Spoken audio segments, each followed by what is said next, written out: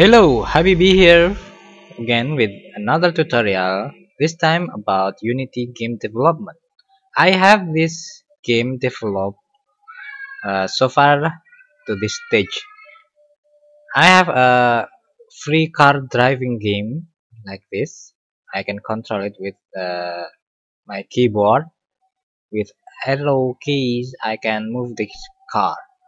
So this time the something I want to share it to you is uh, my car is my if my car is entering the water like this so it is uh, unrealistic if the car is entering the water and it still can run like like this.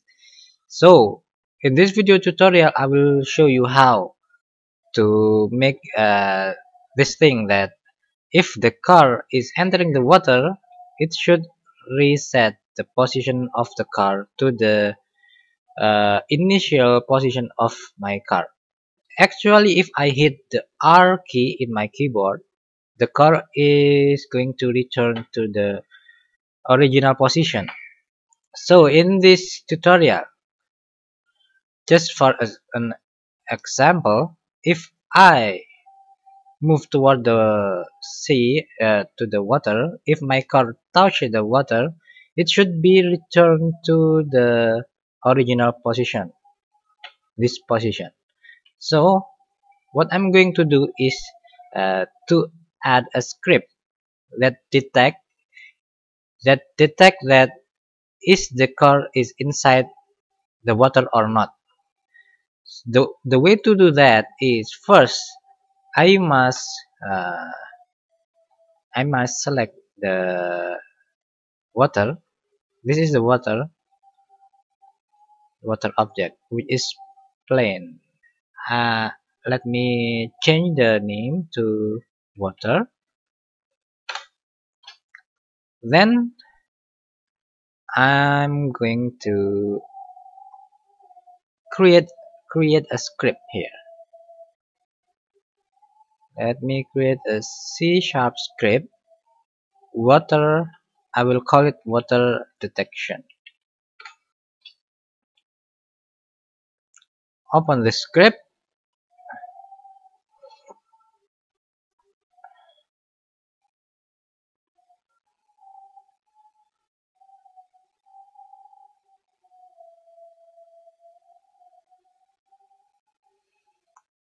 here we go.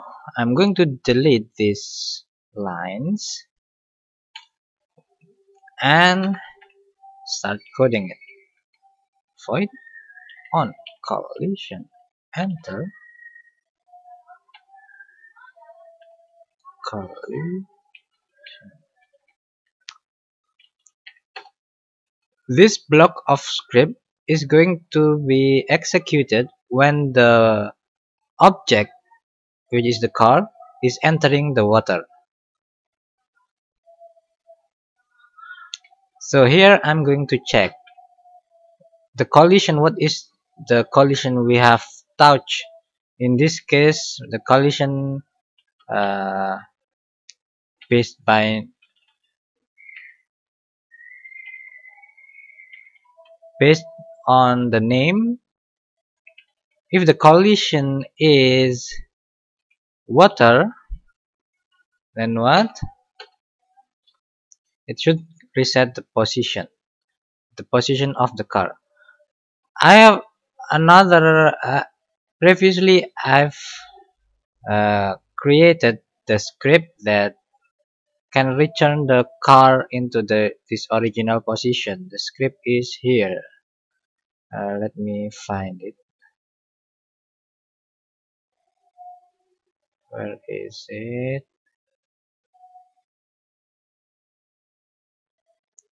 I think it is here.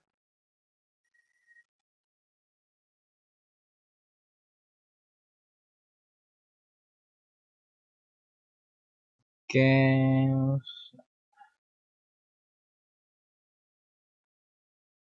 Here it is the script. It is the function that I've made to return to to put back the car into the original position. So I can just call this function. I copy that inside and paste it here.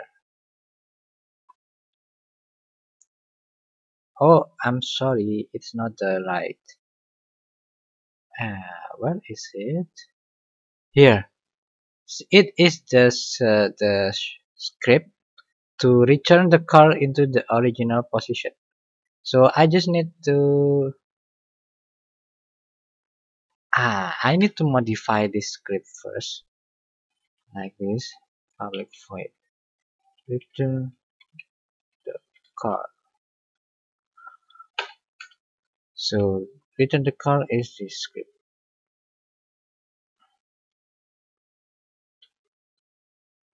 then I replace that with I replace this with the, this. Return the car then I copy this function function and I call it here. Return the car let me test it. Let's see how does it work or not oh sorry. I I'm not finished yet with the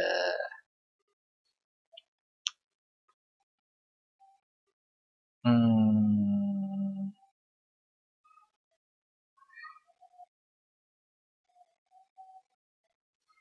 so this function just for a quick fix for this let me du duplicate this function and copy this block of code to to this uh, to this script. This way. Um, it should be inside it should be inside this block. This way. Uh, and of course I must copy this one too. Previously I've made this script so this time in this tutorial I I only want to copy and paste my previous script. Uh, I need this and put it here I know it's not uh, it is not efficient but it is just an example to show you how to do this task. Here I must I will explain it later. Let me do my job first before I start. Okay start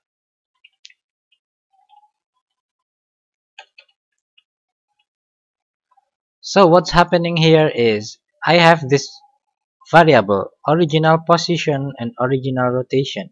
When the when the game is started original position the value of original position is the current value of the position of the car when we start the game.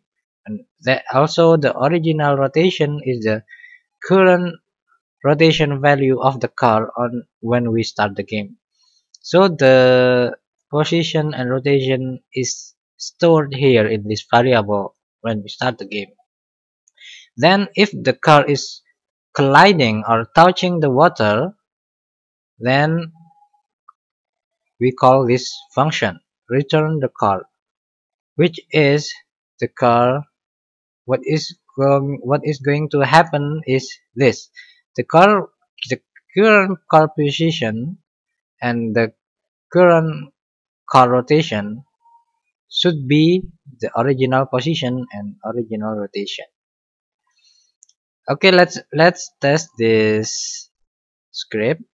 Let's see does it work or not? Oh the car does not exist in current context. Okay let me fix it the car so what is the let let's delete this. Wait okay and check another error. The card doesn't exist. So this I want to delete this one too. Check again. Still we have the car issue here. No it's clear now. Let's start. Oh oh okay.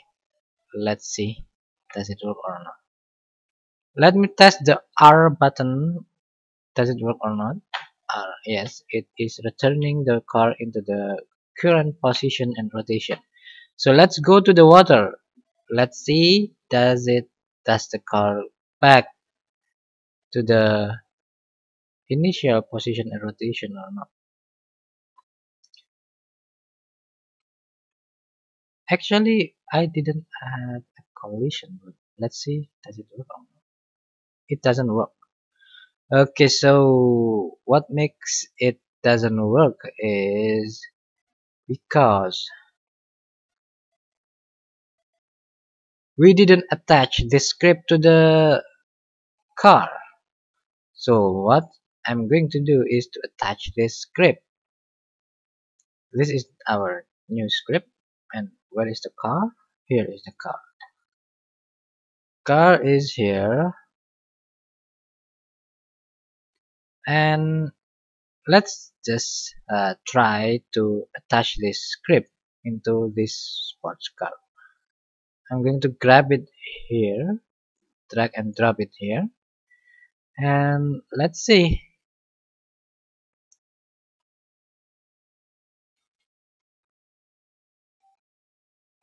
Let's go into the water here we go we are going to the water now the car is returned to the original position Let's go back to the water again. Oops. Why? I know what the problem is. Okay, the problem is because this car doesn't exactly goes into the water. So to solve this problem, I must make uh, this lake a little bit little bit deeper. It is very it's not a deep lake. Uh, let's go to the car you see this green area here doesn't touch the water so the script doesn't run if I bring the car a little bit lower to make sure that this this green area touches the water and start the game resume resume the game. Now car car is going back to the original position. So my problem should be solved by making this lake the ground or the the bottom of this lake to be more deeper. Okay thank you for watching this tutorial. Let's uh, see you next time